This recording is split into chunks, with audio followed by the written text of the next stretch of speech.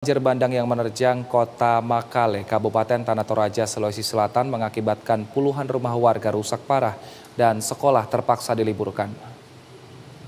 Kondisi gedung sekolah SMA Katolik dan SMP Katolik di kota Makale yang diterjang banjir bandang membuat sejumlah peralatan sekolah seperti komputer dan buku rusak terendam lumpur pemirsa.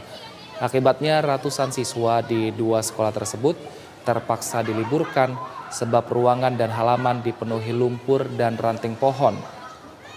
Para siswa dibantu dengan guru juga saling bantu-membantu untuk membersihkan sekolah mereka dari genangan lumpur.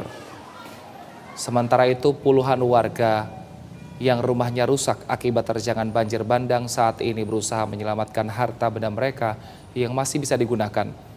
Namun minimnya peralatan membuat warga sulit melakukan pembersihan material lumpur dan batang pohon yang menimpa rumah warga.